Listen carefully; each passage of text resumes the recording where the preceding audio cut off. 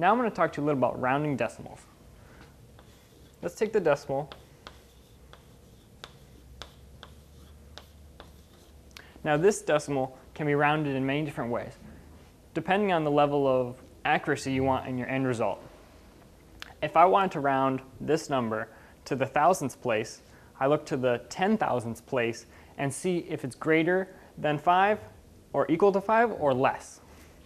So if I want to round to three places, I look at the fourth place. If it's 5 or higher, I round up.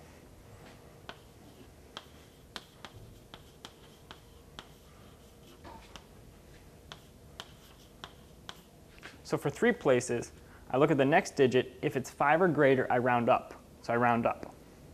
If I want to round to one, two, three, four, five places,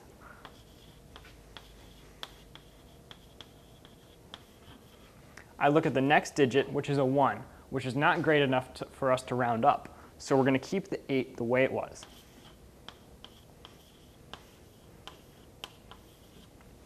Similarly, with any number of places that you wish to round, you look at the next digit.